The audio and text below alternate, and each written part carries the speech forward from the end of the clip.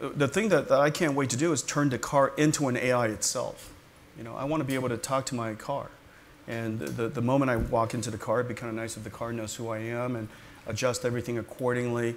Uh, it might even just, you know, hey, Jensen, this is in a very sultry voice. Um, uh, that that uh, this is what your day looks like. Um, it might even recommend uh, what you like because it knows that, that it's almost time for me to get on a conference call. Do you want me to make the call for you?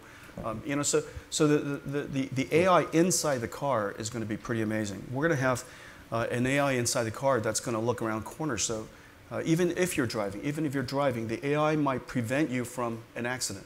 Hmm. And so, uh, so the AI will become a co-pilot.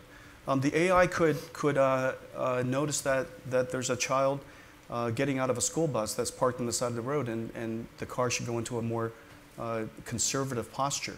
And, and the car may say, you know, Jensen, there's a, there's a school bus parked at the side of the road. Some kids could be coming up, be careful. Uh, and so there's all kinds of things that the AI could, could predict on your behalf, looked around the corner. Hey, there's a motorcycle that's splitting lanes. Uh, don't turn, you know, or don't change lanes.